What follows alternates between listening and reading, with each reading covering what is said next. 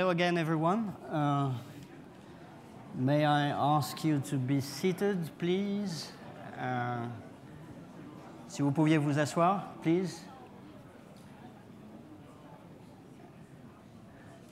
I'm waiting for uh, Thierry to uh, give the go. Thierry?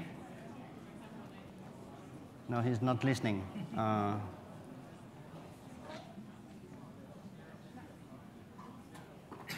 Okay, so uh, let's uh, let's start if you uh, if you don't mind. Uh, we're going to talk about international trade and investment, and I think there's no.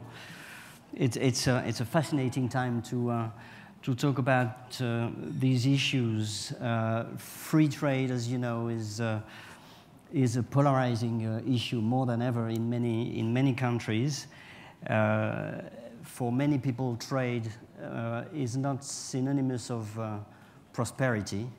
and we talked about that earlier this morning a little bit when we talked about uh, the election of President Trump, uh, when we talked about Brexit, when we talked about um, uh, populism, I, I saw this statistic from uh, from the uh, International Labour Organization saying that uh, last year, 30% of workers, which means around 170 million, were employed by exporting firms in 32 countries. But this number is, is, is less than before the financial crisis. So that's uh, interesting to note.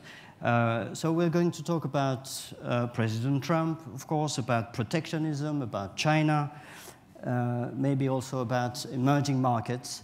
Uh, after all, we're, we're, here in a country uh, for which international trade is, is really key.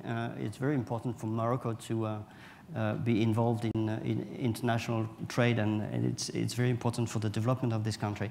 Uh, I would like to start with, if, if the presentation is, is working, which I, I, hope, I would like to start with, with, with you, Marcus. Um, you're uh, um, executive vice president of the Peterson Institute for International Economics in, in Washington. It's uh, very well-known uh, think tank in Washington. And uh, I give you the floor. Marcus.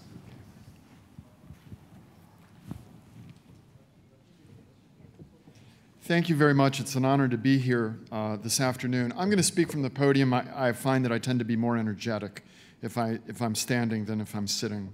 Uh, what I'm going to do is talk about uh, Trump administration international uh, economic policy.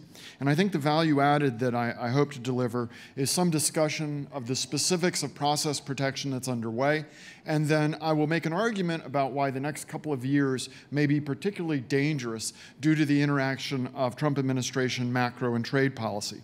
But first, I want to make a really simple point, which it is an explicitly protectionist policy. Last night, I went back and reread his inaugural address, and it contains the following passage. We must protect our borders from the ravages of other countries making our products, stealing our companies, and destroying our jobs.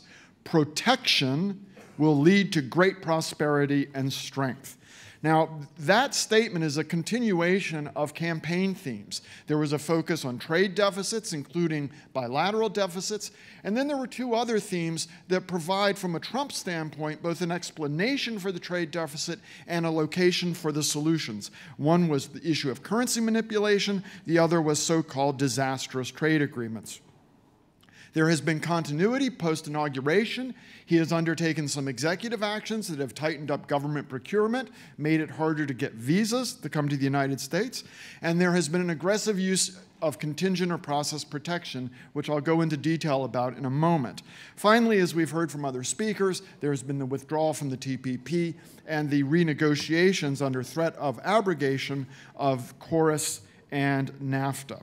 Okay, what about that new protection?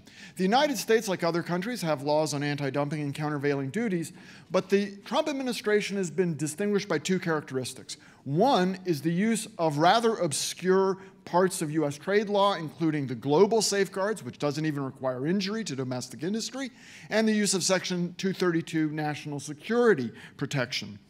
Moreover, the second characteristic is the Trump administration has been unusually uh, prone to self initiate cases. And that matters because historically, if the government self initiates the case rather than waiting for a domestic uh, firm to complain, uh, there is the high, higher likelihood of protection actually being implied.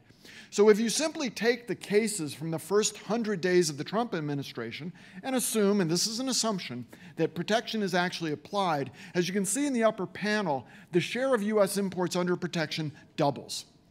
And you see in the lower panel, it breaks down uh, that by country. South Korea would be the worst affected. Um, the problem for a country like South Korea is while some of these policies are aimed at China, South Korea produces products such as solar panels and steel and washing machines that get caught up. South Korea is essentially collateral damage. The single biggest change in protection would be Canada because of the perennial softwood lumber case. And as somebody mentioned yesterday, the real problem with this is that given the United States' prominence in the system, the likelihood that there will be um, emulation by other countries. The Trump administration, as we've heard, is also scrapping trade agreements. We are renegotiating NAFTA. Dick Cooper pointed out yesterday that some of that is a constructive agenda, updating. But what Dick didn't mention were the bad ideas that we heard some about this morning. A five year sunset provision, which basically undercuts the idea of having a trade agreement because it means that companies cannot invest with any certainty about the rules of the game will be. Tighten rules of origin, particularly in automobiles. The rules of origin that the United States is uh, proposing on automobiles are designed to disrupt the existing supply chains. The North American auto market is highly integrated. If these rules go through, it will mean real inefficiency is introduced into that North American market. The long term effect will be the movement of production from North America into China. Um, and as we heard uh, earlier this morning, these sort of strange arguments about trade balances. Um, if, the, uh, if the renegotiation fails and NAFTA is abrogated, the snapback for Canada is to the US Canada FTA, and you can imagine the US and Canada basically working out a new deal that modernizes that agreement. But for Mexico, this, the threat is much more existential. Uh, there would be real impact in terms of production in Mexico, and strangely, from a Trump standpoint, the likelihood would be a depreciation of the peso and an increase in the bilateral trade imbalance, not a reduction. The Korea Free Trade Agreement was slated for uh, abrogation. Uh, fortunately, Kim Jong un stepped in and, with the sixth nuclear test, took that off the agenda. But it's been simply pushed to the back burner, and uh, there is still the possibility of abrogating KORUS. Now, in anticipation of the election last year, uh, I did some modeling along with some colleagues at the Peterson Institute to look at what the impact would be on the United States, modeling trade wars with China and Mexico. And, as, and what you can see from um, that map is that um, the, um, the effects are significant and they are they are not uniform across the states. Capital goods industries would be the worst hit, both because of the decline in domestic investments, associated with the trade war, uh, as well as a reduction of exports of those goods. But what's really interesting is there are large employment losses in non tradables, and because of the pattern of hiring in those sectors, what we find is that the, uh, the, the, most of the US casualties in a trade war would be among the most vulnerable people in society. The, the effects of a trade war in the United States would be regressive. Uh, Washington, poor Washington, is the worst affected state. But we also looked at some scenarios that looked at asymmetrical forms of retaliation. Things like China stopping buying aircraft, or having an embargo on soybeans, or instructing state owned enterprises not to buy US business services. And we've also looked at what might happen in some uh, cases if KORUS were abrogated. That would include the loss of preferences in the beef market to countries like Australia, Canada, New Zealand uh, which we uh, expect would mean the elimination of U.S. beef exports, in, at least in the short run, as well as also loss of uh, business services to EU competitors. In the case of aircraft, aircraft production is highly localized. Certain geographical areas are hit hard. In the case of business services, the areas that are hit under either of these actions basically constitute a map of the high tech urban areas of the United States. But from a political economy standpoint, possibly the most interesting part is um, the uh, two agricultural cases. Uh, you can see on the map uh, there is a, a, patch of green that runs from Mississippi through Arkansas, Tennessee, and into Missouri. That's the impact of a soybean embargo by China. The loss, the reason it's very interesting is twofold. First of all, if, say, you're in Seattle and you lose your job, you're losing your job, which is not good, but you're losing it in the context of a large urban labor market with public transportation.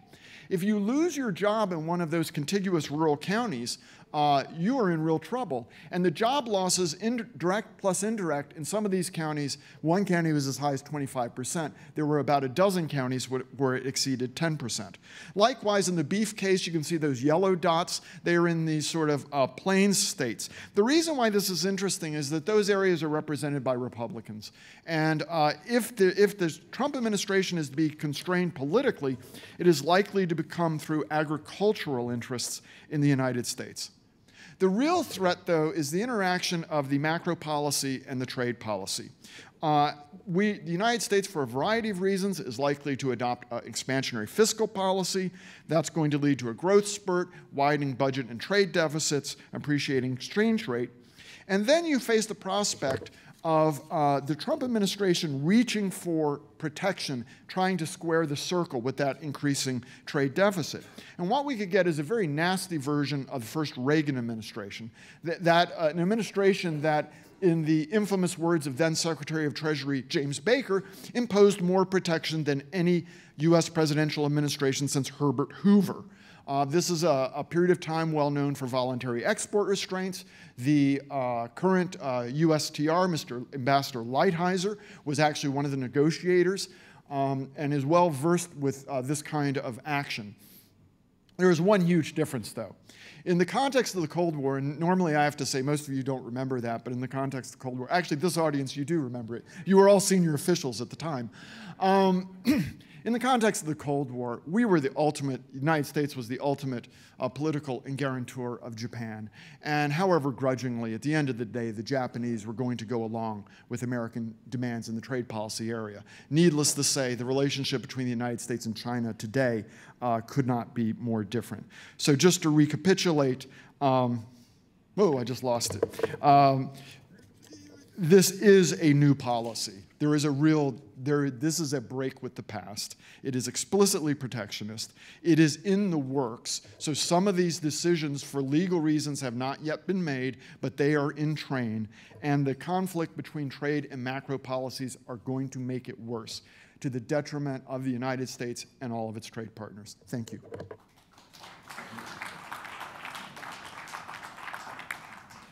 Thank you, Marcus. Maybe we'll uh, discuss later uh, on, on the, the very points uh, to, uh, to know whether this uh, new policy, as you said, is, is here to stay or uh, if there, there are prospects for, for change. Let me turn to you, Minister Bark. you were Minister of Trade for South Korea between 2011 and 2012, at a time when I think your country was negotiating uh, a trade deal with China, uh, and now you are the head of a major think tank in, in Seoul uh, involved in, uh, in trade and, and economy, Lee&Ko Global. Um, Minister. Okay, thank you very much. Uh, based on my uh, area of interest, I would like to briefly discuss the current state of the global trade governance as all of you know, the Doha round uh, has been drifting for 16 years, and yet uh, we do not know uh, when and how it can be concluded. This kind of impasse uh, had never happened before since the start of the multilateral trading system of the WTO in 1948. The 11th uh, WTO Ministerial Conference will be held in uh, Buenos Aires, uh, uh, Argentina, next month. To prepare this MC11, an informal mini ministerial meeting was held here in Marrakesh early last month. However, uh, ministers found that there are still sharp differences on major issues among the groups of countries, depending upon their own country's interest. As the multilateral trading system of the WTO was struggling with the Doha round, many countries actually have attempted to uh, liberalize their economy by seeking bilateral as well as regional FTAs. And most uh, re recently, a new trend of forming a mega RTAs with the multiple participants has emerged, such as TPP, RCEP, and TTIP. However, as you know, the Trans-Pacific Partnership Agreement will not be implemented. You know the reason why. Furthermore, the negotiations of other mega RTAs seem to be also prolonged. In addition, President Trump, you just heard from Marcus Noland, uh, America First trade policy is making the global trading environment more uncertain and more unpredictable. Against this backdrop, uh, some international organizations and the Leaders Forum have worked to improve the global trade governance. In particular, the G20, the premier leaders forum for international economic cooperation, has made various efforts to restore the credibility of the global trading system. As we remember, at the 2015 Turkey G20 summit, leaders asked trade ministers to meet on a regular basis. Following this request, G20 trade ministers met in Shanghai in July 2016 and welcomed the establishment of the G20 Investment and uh, Trade Investment Working Group. However, during this year's German presidency of the G20, trade ministers did not meet and no substantial agreement on the improvement of the world trading system was even included in the G20 summit declaration. Meanwhile, at the German G20 summit, leaders discussed the importance of fair trade and level playing field and recognized the role of trade defense instruments, just like uh, anti-dumping or countervailing duties. It should be noted that G20 leaders at this time had more interest in fair trade than free trade. I would now like to make some suggestions in my own personal thinking on uh, global uh, trading system. First of all, the WTO members should seriously discuss how to save the multilateral trade negotiations. To save the Doha round, uh, serious discussions should be made at the upcoming MC11 to revise the agenda, which was written 16 years ago. Second, along with the multilateral negotiations, WTO members must consider taking different approaches to address further liberalization and new commercial rules. Given the nature of the decision-making mechanism of the WTO, we may need to seek for plurilateral agreements for certain issues among like-minded participants, such as government procurement agreement. Of course, if other countries who later satisfy certain requirements, they are allowed to join the agreement. Furthermore, if these agreements extend the benefits to all other non-participating members of WTO on an MFN basis, this agreement would become multilateral, like the Information Technology Agreement. Third, we know that WTO's dispute settlement function has been respected despite the failure of the Doha round. However, recently, WTO has unable to fill vacant members at the WTO appellate body this really hurts the credibility of the WTO's dispute settlement system. We do hope this problem to be resolved as soon as possible. Fourth, I would like also uh, emphasize that MC11 must produce a successful outcome which another, with another small package. Fifth, I would recommend the WTO members agree that investigation and imposition of trade defense measures should be consistent with WTO rules and purposes. In this context, I would be, uh, it would be extremely important that trade remedy systems are operated in a fairer, more transparent way. Sixth, I would like to note that there seems to be a growing consensus about the need to make all the citizens share the opportunities and benefits of trade liberalization. Regarding this issue, there are two important areas to focus on. First, we have to look at this issue from the consumer's point of view. In many countries, consumers often do not feel the benefits of trade liberalization. One of the main problems in this case is that distribution process of delivering imported goods from the border to the final consumers is extremely complicated, making the final price of the imported good much higher than the initial input price. From the consumer's point of view, expensive imported goods are not attractive, and therefore they cannot see the real benefits of trade liberalization.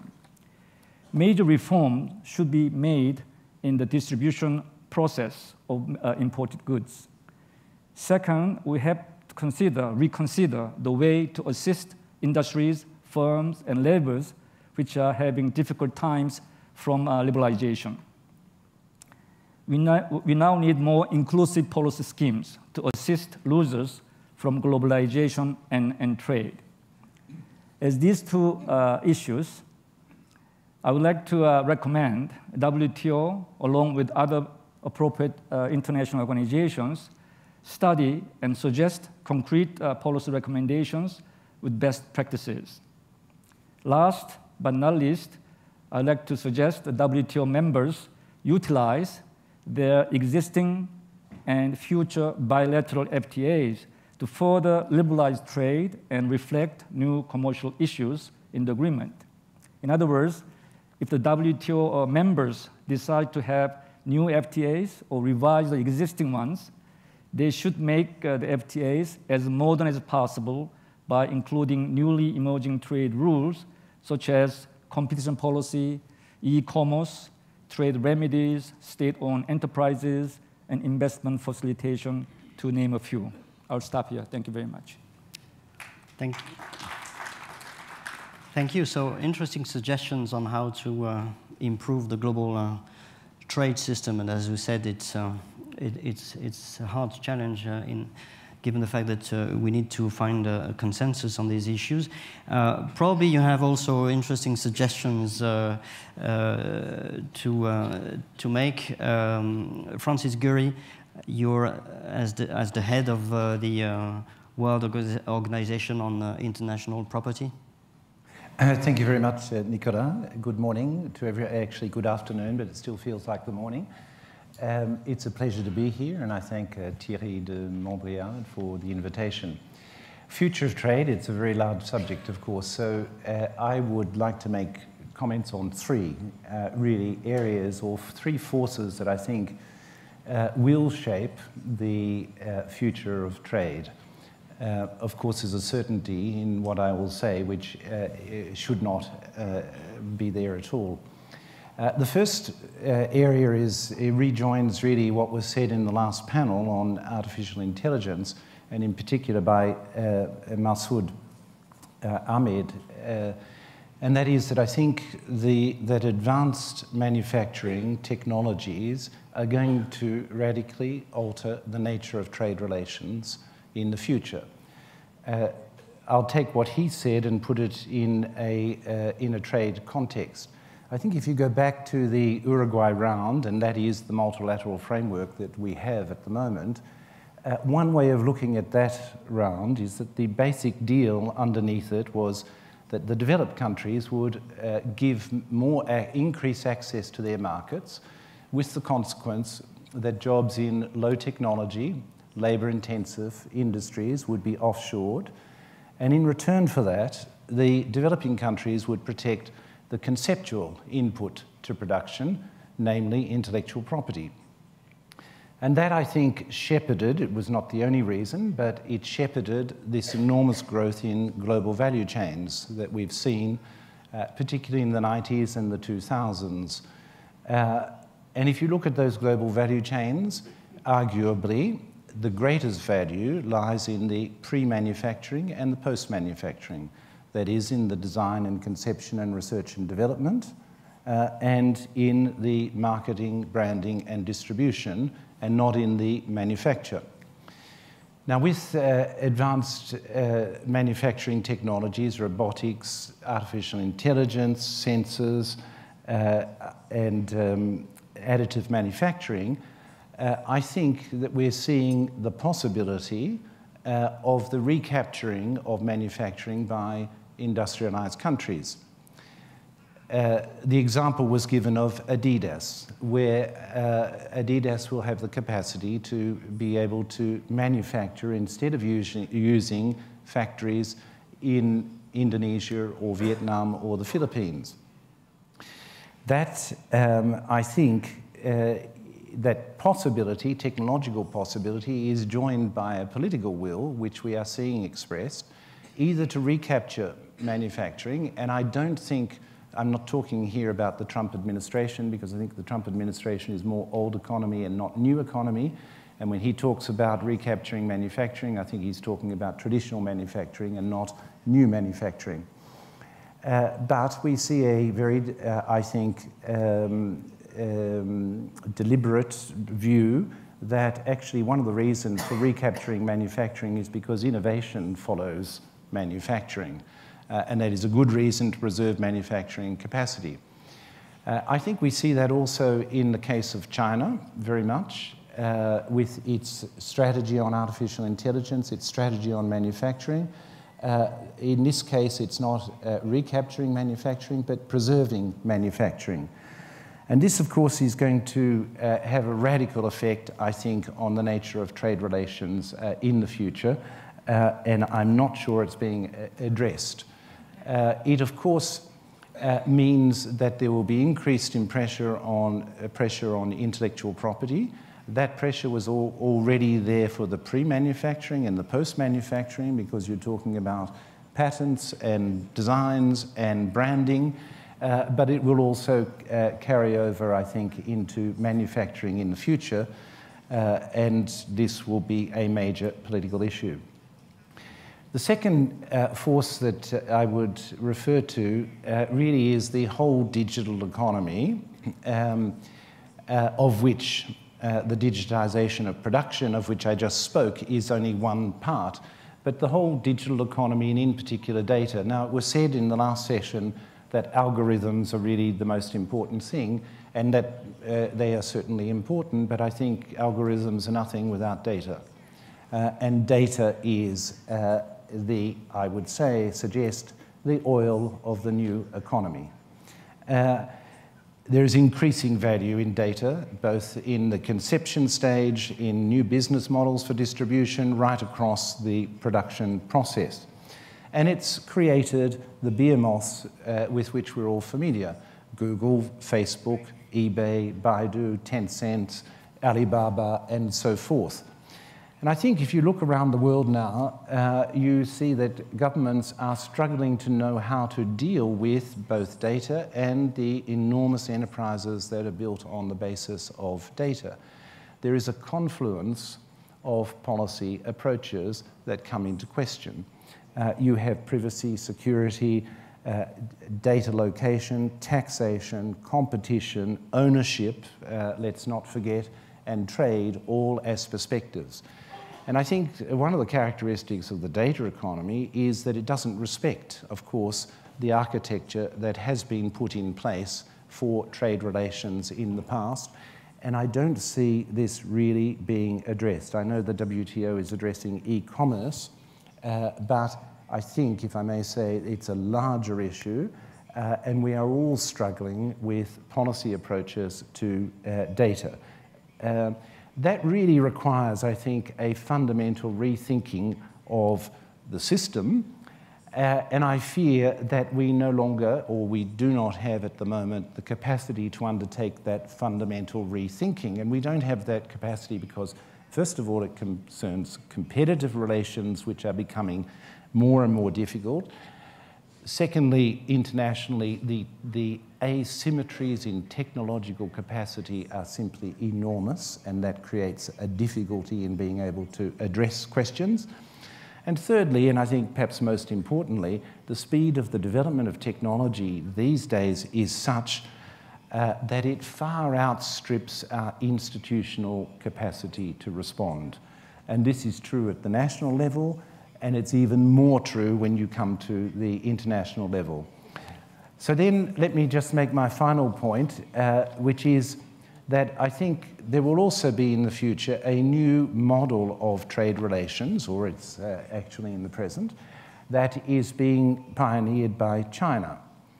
So we've spoken a lot in the course of the conference about the vacuum that is being left by the uh, uh, policies of the current Trump uh, administration, uh, but, and that that vacuum is creating an opportunity for many countries, and in particular China, to move into the space.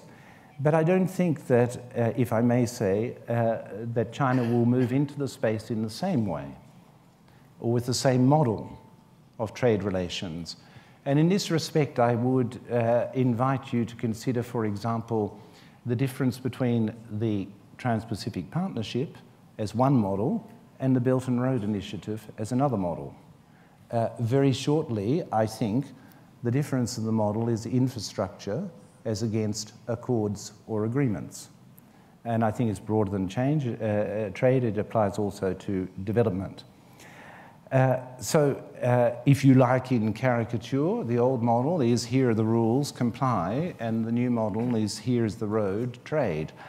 Uh, and I think this is going to have major institutional uh, or consequences for the institutional architecture. I would not wish to be thought to be suggesting by that that China is not a fully engaged member of the current multilateral system. It is absolutely fully engaged, but the model uh, for the future may be slightly different. Thank you. Thank you very much, Francis. Um, so we talked about trade at macro level, uh, and let me turn to uh, uh, to the um, to the voice of business uh, coming from uh, Germany, the biggest, the world's biggest exporter with China, uh, and and so with with you, Stefan, you're um, a representative of the um, German Business Association, BDI. Yeah, thank you very much. I'm happy to be here and to speak on an issue which is of utmost importance for German industry. you probably know, as you already referred to, that exports make about 46% of our GDP. And you probably don't know that imports make for another 38%. So we are left with a foreign trade quota well beyond 80%. Just to compare, in the case of France, it's 45%. In the case of US, uh, it's 25%, as far as I remember. So we are we are very open, very globalized, uh, but also very exposed. Uh, I think this will gets underlined also by investments. Uh, we have uh, more than 36,000 companies having invested more than 1 trillion euro um, uh, abroad. So, as I said, um, very much globalized, uh, but very much exposed as well. So, we follow the tendencies, the protectionist tendencies, with very great concern.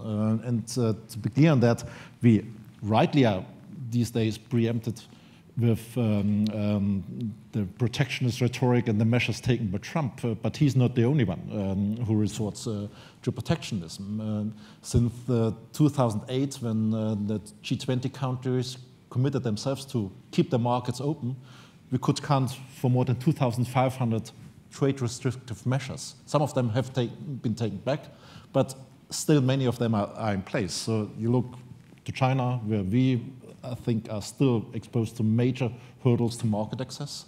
Uh, we have a strong pressure on uh, localizing production in Brazil and Russia and many other places. Um, we have, uh, of course, Brexit um, in, in, the European Union, where the British government interpreted it in a way that they have to leave the single market. And, of course, we have also very strong resistance against the trade um, transatlantic trade and investment uh, partnership, uh, partnership, in Germany. Very strong demonstrations on, uh, against that.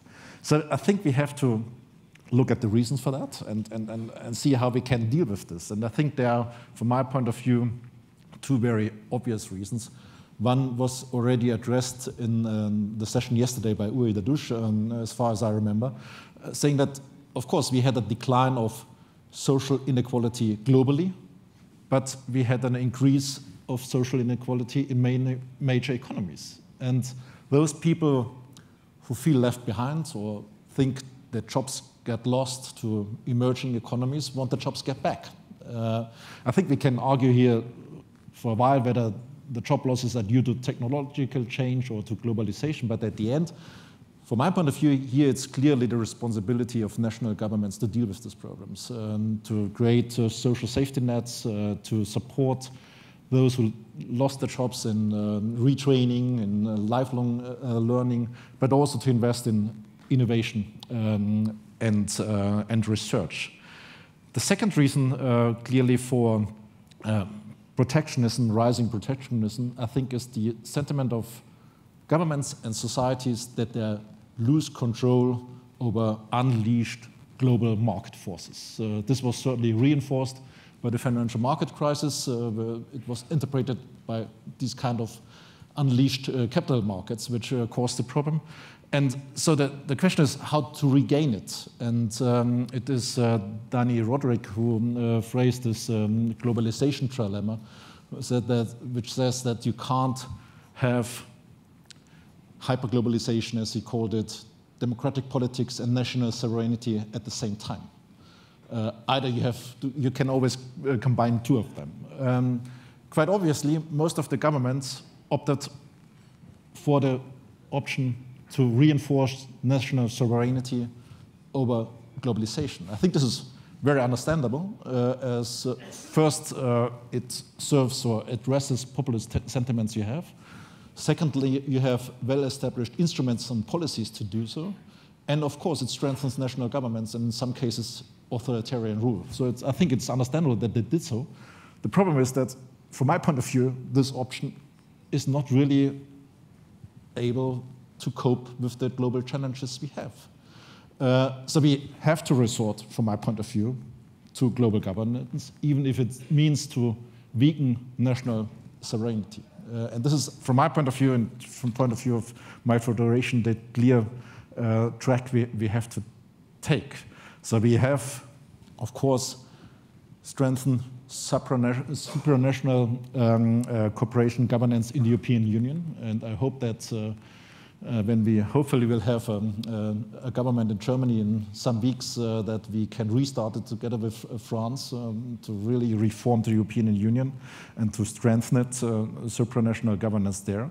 But also we have to reinforce WTO. This might sound a little bit naive as the Trump administration seems to opt for a timeout in global governance, but if is that so, then we have to talk to other partners um, uh, and test their willingness to develop, to bring forward global governance. governance. Might, might it be China, might it be Japan, India, African, Latin American countries? I think we, we have to do this, to do this effort and really to reinvest in, in, in global governance.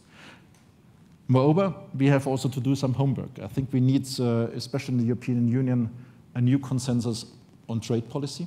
Um, we have uh, in the past years, uh, I think, overloaded our uh, trade policy. Uh, uh, trade agreements have become more and more kind of basic treaties uh, with other governments, where we not only discuss trade, uh, but also investment, of course, but labor standards, social standards, environment standards.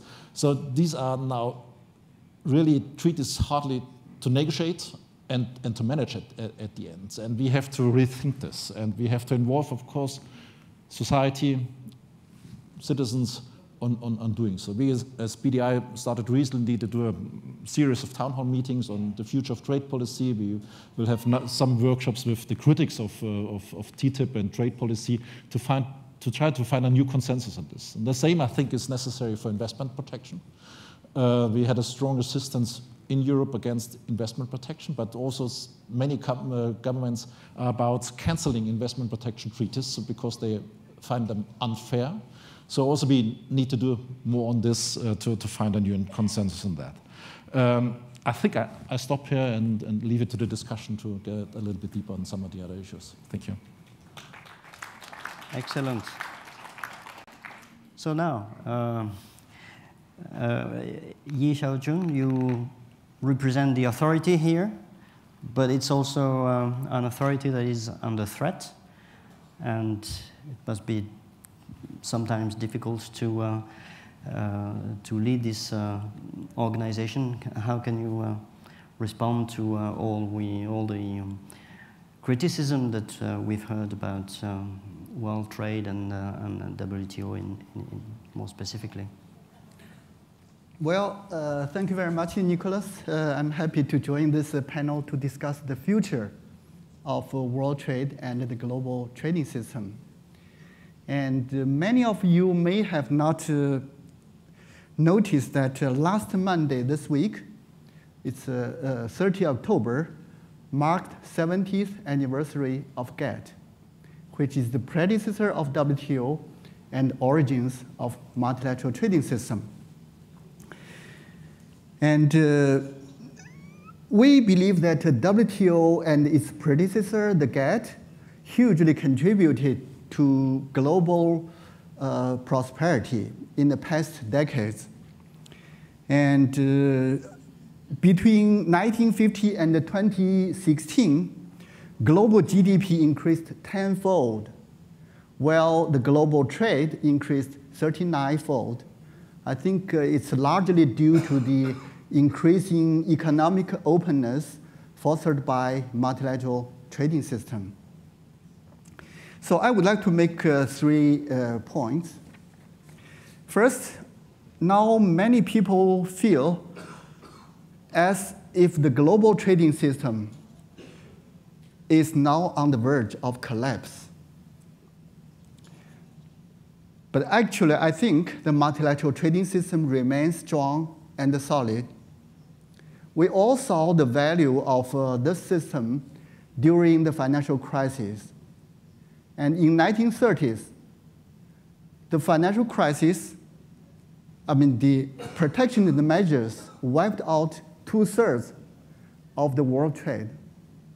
But uh, in, in the crisis of 2008, we didn't see such a escalation because the, our member governments knew that they were all bound by the multilateral rules. They knew where their boundaries were. So I truly believe that a multilateral trading system represents the best world efforts to keep protectionism and economic tensions at bay. And my second point is we must be aware that many people feel disconnected from the economic progress. And uh, attitudes toward trade and globalization have hardened recently. And in some countries, trade, trade is often singled out as a disruptive force in labor market. Well, trade does have effect. The technology and the technological progress is actually the major force driving changes and disruption. And it's true everywhere in any economy. Automation, digitization, new managerial techniques hugely reduced demand for labor uh, in employment.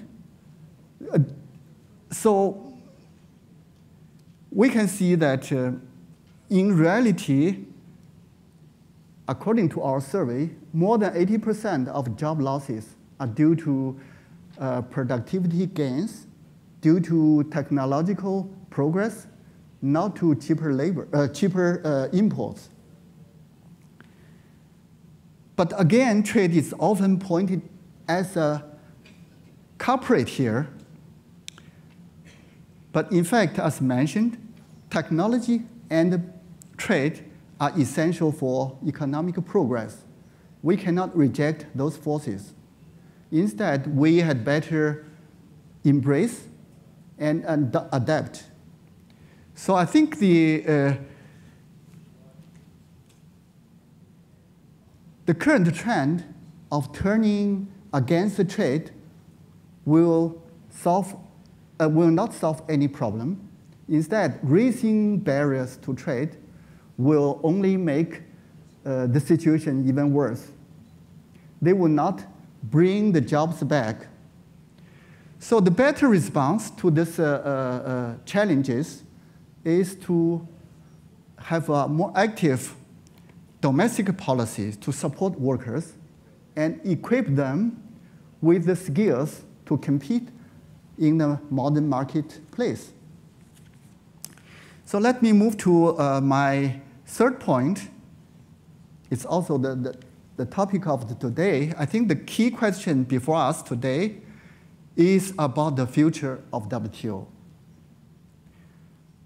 I truly believe that none of the global trade challenges can be easier solved outside of multilateral trading system.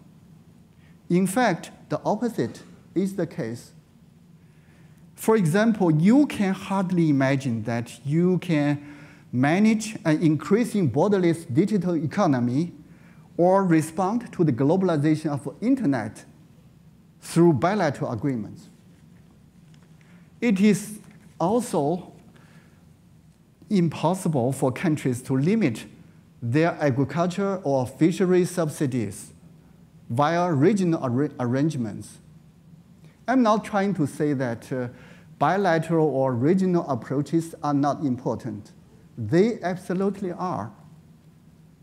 But uh, what I'm trying to say is they are on their own, they, are, they cannot be sufficient they can only uh, supplement multilateral trading system and they can act as uh, uh, uh block, uh, building blocks for the global system.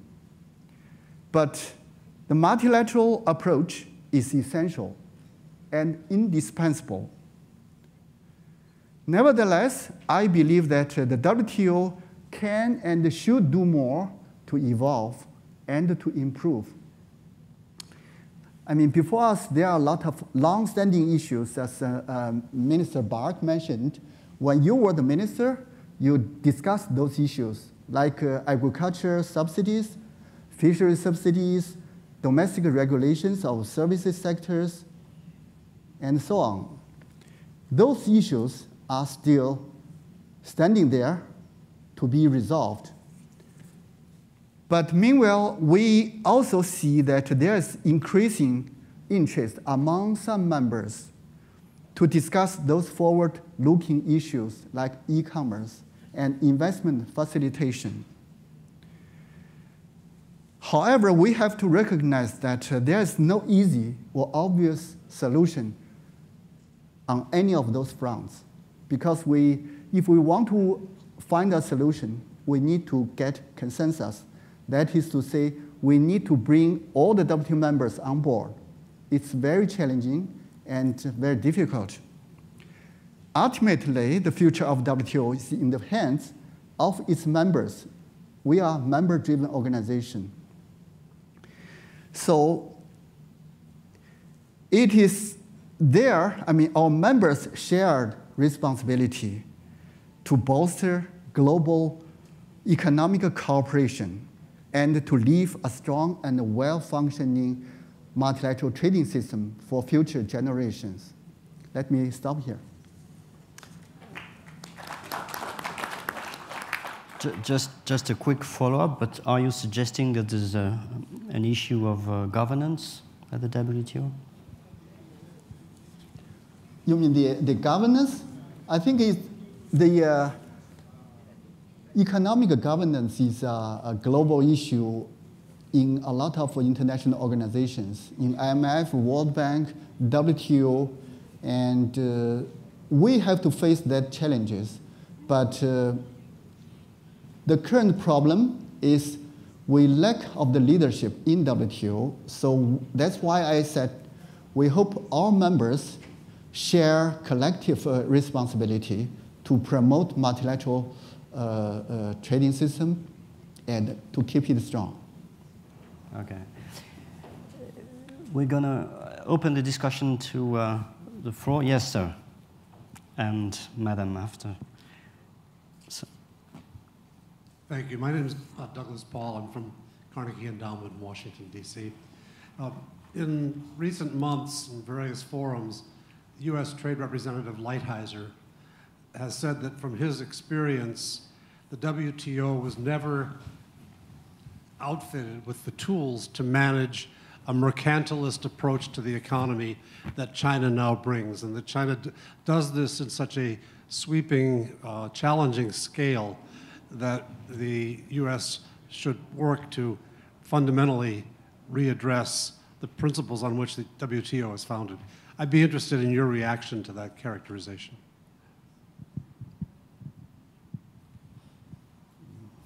Well, I, I don't think the US is going to leave the multilateral system because uh, uh, the system itself was created by the US seven decades ago, and uh, it worked in the US national interest in the past. But uh, I understand that the US or the current administration wants to uh, uh, improve it and make it uh, working uh, more efficiently and for their interest. But uh, it's up to our members to make decision how they reform the system. And as for China, I think it's important to, personally, I think it's important to uh, engage China and work China within the system instead of a confrontation outside of the uh, uh, uh global system. It's my uh, personal view. Minister. Well, um, regarding the multilateral trading system, the Deputy Director General already mentioned the decision-making process at the WTO requires consensus. But it has been working quite all right until certain time period. Now given the power shift uh, in the world economy, the two, you know, many, many different uh, emerging countries are confronting with the United States and EU. That means you never have any consensus on any difficult issues. That's the kind of thing we got stuck with.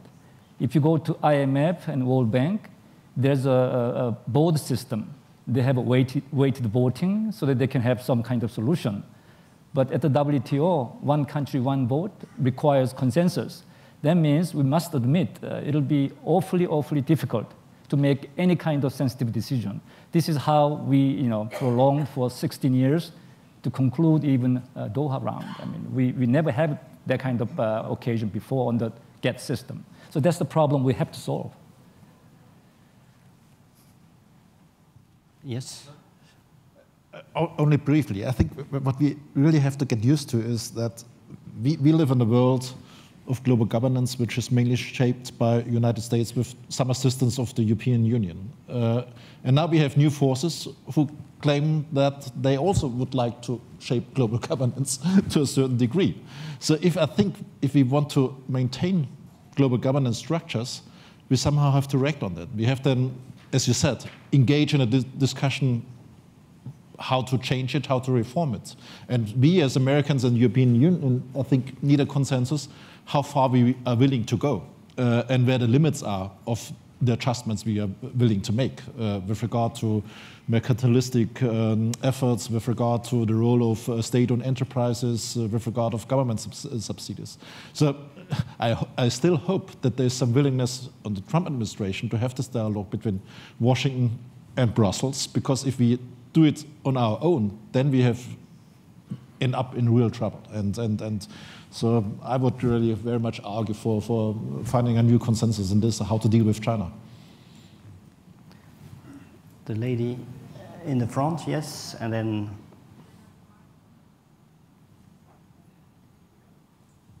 Well, thank you, Assia Saleh Alaoui, Ambassador at Large of His Majesty Mohammed VI. My question goes to Stefan Mair. You have suggested as potential answers to the rise in protectionism to improve governance, both supranational government in Europe and, of course, the to uh, alien WTO address its woes. Uh, my question is uh, how you do that at a moment where Europe is totally reluctant to any strengthening of its supranational, you have even said the word, you know, move And second, do you think that the, uh, what we call the couple uh, Franco-Allemand is strong enough to address this issue? And uh, second, what would be the uh, chances to get there, knowing, you know, that the populists are basically against any kind of reinforcing, you know, Europe? Uh, the other question is related, of course, to WTO, and which is much more recent than the historic international organization, but which is totally, are we condemned to paralysis? What you, as Deputy Director General, are proposing. So are we going to be prisoner, you know, of this consensus impossible to reach forever?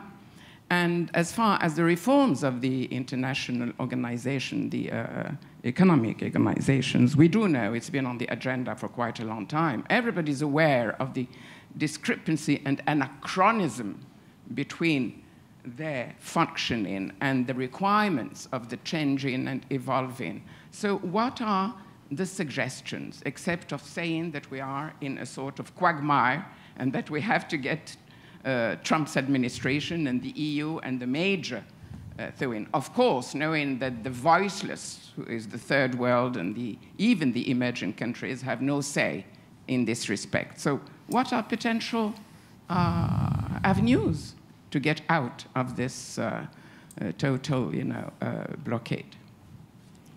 Shall I react Excellent point. Yes, sure. Go ahead. Um, I, might be more positive on the European Union than the majority of, of the people here in the, in the, hall. I think that we have really a great, a great chance next year to restart it. So we saw the victory of a French president which clearly had an anti-populist agenda, uh, countering the main demands, and he won the elections. And of course, we have now in Germany a right-wing uh, party in parliament, but still a very broad consensus about the major parties about the pro-European uh, policy. And, uh, and as far as I see, we have the chance, beginning of next year, to revive European Union, to restart the discussion on how we would like to shape it. And Brexit might help to a certain degree, because uh, many member states of the European Union are about to learn now what it means to leave the European Union and not to have it.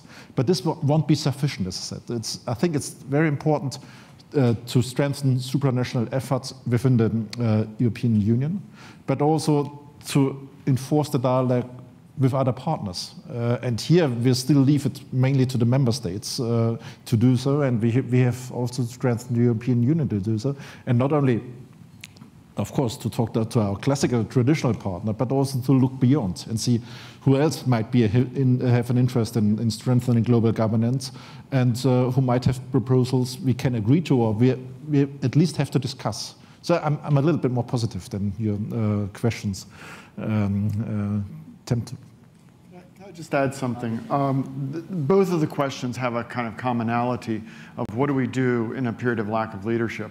Um, I think that given the problems the WTO has moving forward, uh, and the difficulties that the United States and China have in the economic relationship, I think there's a case for the US and China to basically take it outside the WTO and, and settle these issues bilaterally. Uh, for example, we have in the WTO right now the issue of China market economy status. Um, I personally think it's, over, it's overestimated because of the nature of protection in the United States. Whether you grant China MES or not is not going to have dramatic impact on market access, but it's an issue. I think you could see a situation where the United States and China just say, look, we're, we're major powers, we're going to settle this. And you could have, in the case of MES, for example, uh, you would grant MES in sectors where China looks like it's really marketized, and you wouldn't grant it in sectors where state-owned enterprises uh, have a dominant position. And you can kind of go through, and, and in return, you know, you would have the United States granting some constraints on the application of anti-dumping and, and, and countervailing duties. The real risk is if China pushes a case like this through the WTO, that the United States will not comply, and in the end, the Trump administration could simply pull the US out. I don't think that's likely. I want to be very clear, I'm not predicting this.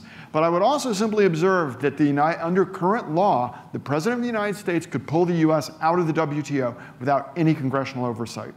So I think, uh, given the sort of dysfunction in the WTO, it is a very risky game for China to really press these cases with the United States. I think it would be better, frankly, given the condition of the WTO, to settle it amongst ourselves. Francis, you wanted to uh, add something? So, um, in relation to the ambassador's last question, um, I think this is an extraordinarily important issue. It's a major, major issue. The whole multilateral system architecture is frozen.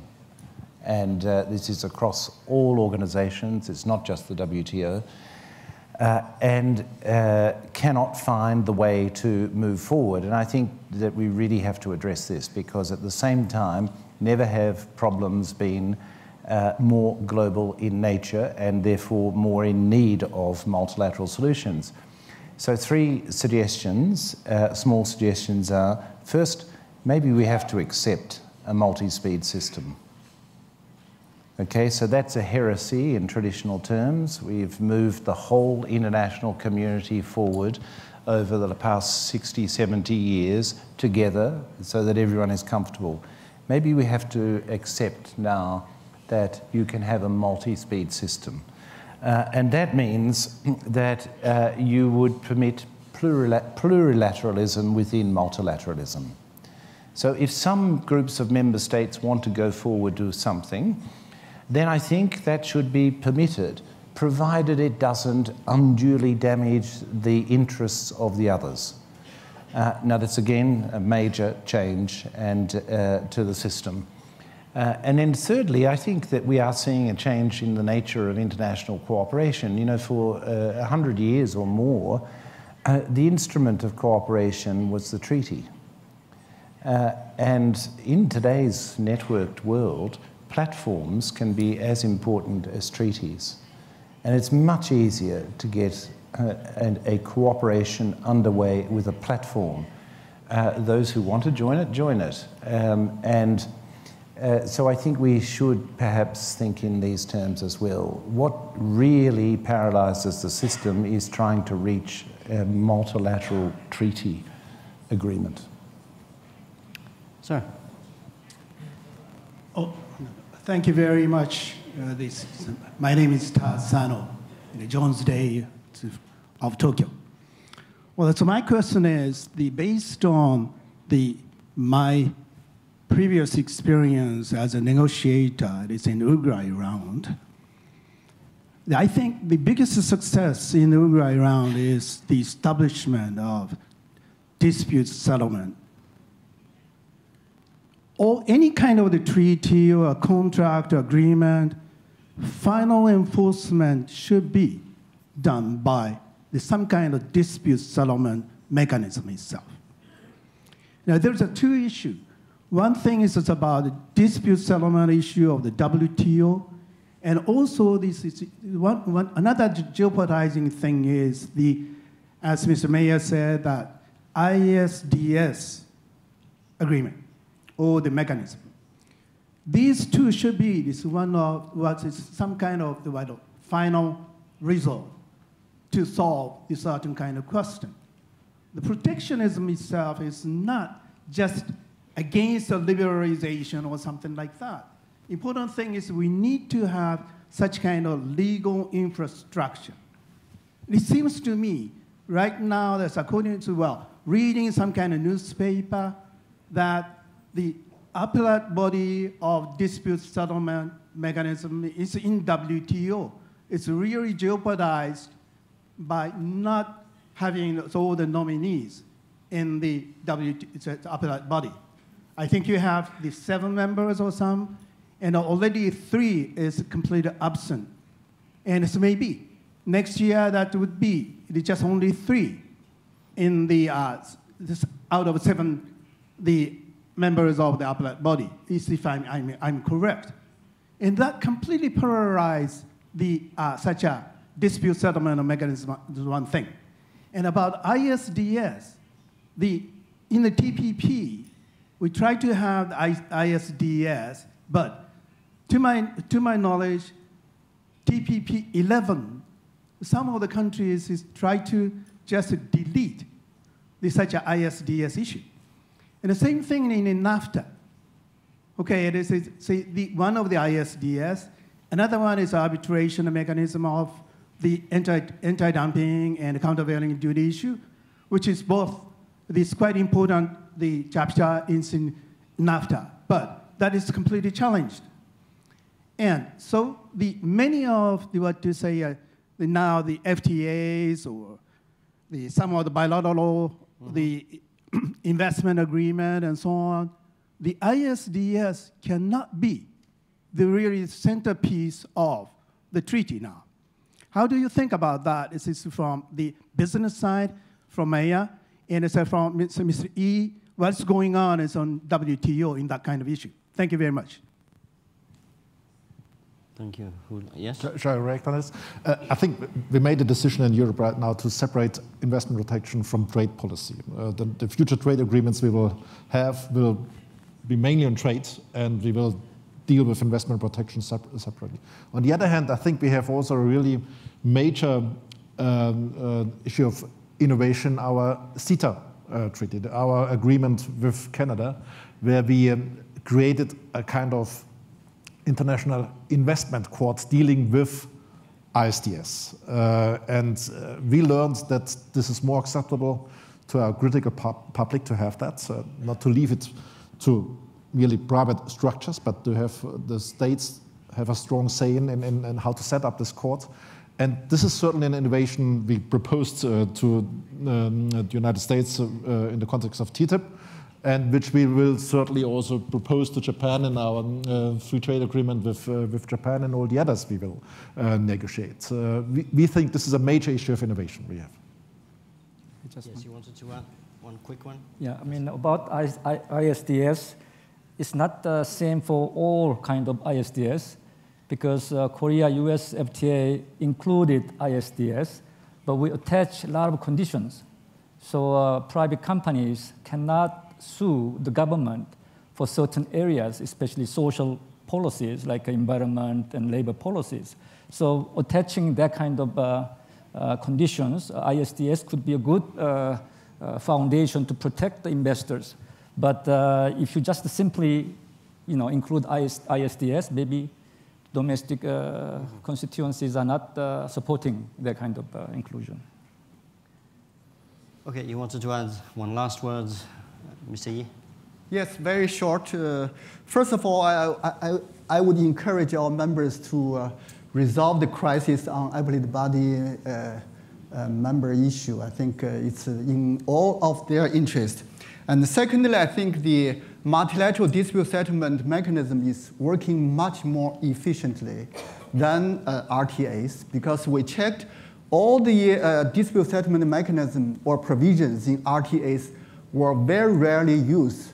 But uh, if you check WTO record, we, in, the, in the past uh, 21 years, we handled uh, more than 500 disputes very efficiently.